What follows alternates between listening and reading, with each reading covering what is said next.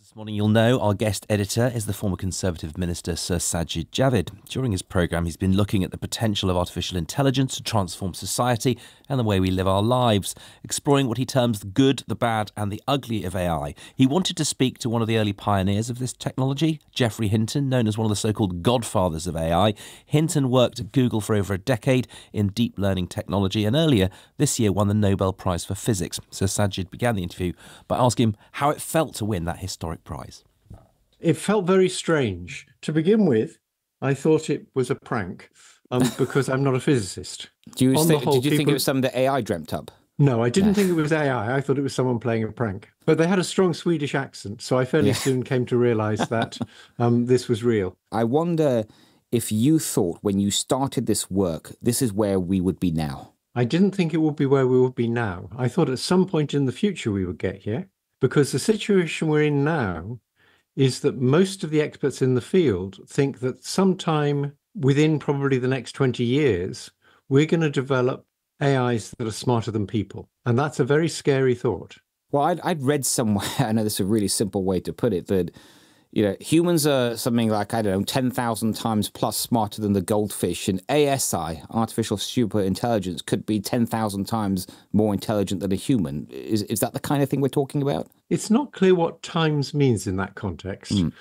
I like to think of it as imagine yourself and a three year old. We'll be the three year olds and they'll be the grown ups. Do you think people, sort of society generally realize the profound change that's coming? You know, I've, I've referred to the change AI will bring on par with the sort of creation of the wheel or the discovery of the fire. Do you think it could go that far? Oh, oh yes. I, I think it's like the Industrial Revolution. In the Industrial Revolution, human strength ceased to be that relevant because machines were mm. just stronger. And if you wanted to dig a ditch, you dug it with a machine. What we've got now is something that's replacing human intelligence. And just ordinary human intelligence will not be at the cutting edge anymore. It'll be machines.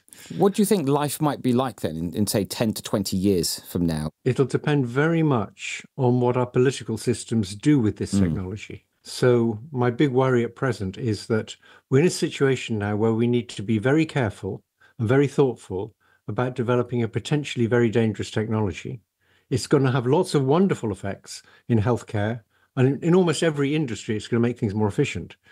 But we need to be very careful about the development of it. We need regulations to stop people using it for bad things. And we don't appear to have those kinds of political systems in place at present.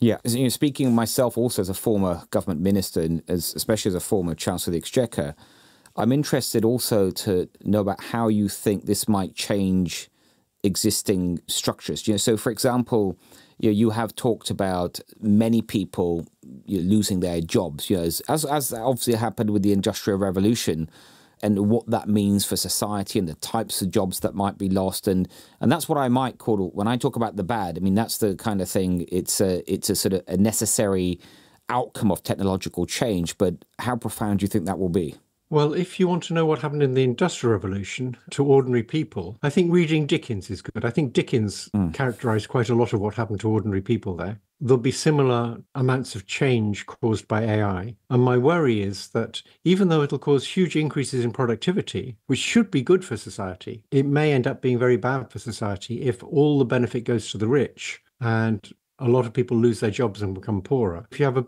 big gap between rich and poor. It's very bad for society. Yeah. What's different this time? So these things are more intelligent than us. So there was never any chance in the Industrial Revolution that machines would take over from people just because they were stronger. We were still in control because we had the intelligence. Now there's the threat that these things can take control. So that's one big difference. And I think perhaps also it's the pace of change now as well. It's it's very profound as well. The, the actual pace we're seeing, uh, how quickly this is all happening. Yes, it's very, very fast, much faster than I expected. Because it's so fast, we haven't had time to do the research needed on how to keep it under control. Okay, and let's just talk, uh, because I'd be interested in your views on this and some of the good things that are already emerging from AI. For example, as a former health secretary, I think a lot about the advances that, that can be made in medical research and life sciences. Is that a sector you'd sort of pick and say that that actually is something where you know, we can really extend healthy life years for people? We can all live longer and have happier and healthier lives? Yes. So I think it's going to do tremendous mm. good in areas like medicine. And that's why it's unrealistic to talk about stopping the progress. It's unrealistic to say this stuff could be very dangerous. Let's stop developing it.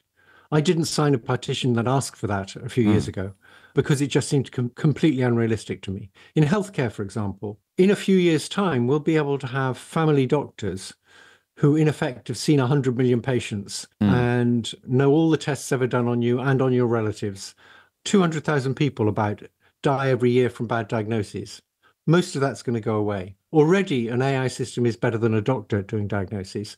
And the combination of the AI system and the doctor is much better than the doctor dealing with difficult cases. And the AI system is only going to get better. In the past, you previously predicted, I think you said there's a 10% chance that AI will lead to human extinction within the next three decades. Has anything changed your analysis of that? Um, not really. I think 10 to 20. Oh, um, you're going up.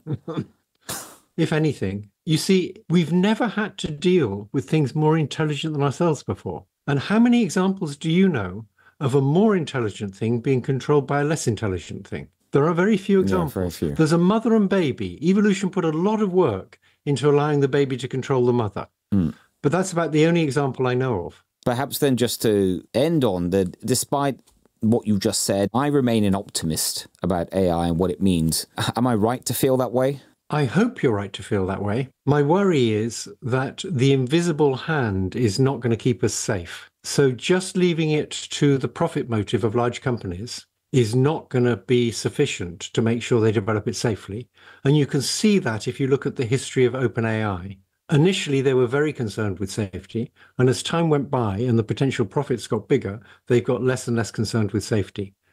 The only thing that can force those big companies to do more research on safety is government regulation. It's been an absolutely fascinating discussion, uh, Geoffrey, and uh, there's, there's a lot of food for thought there. Thank you very much indeed for, for joining us today on this program. Thank you for inviting me. Thank you.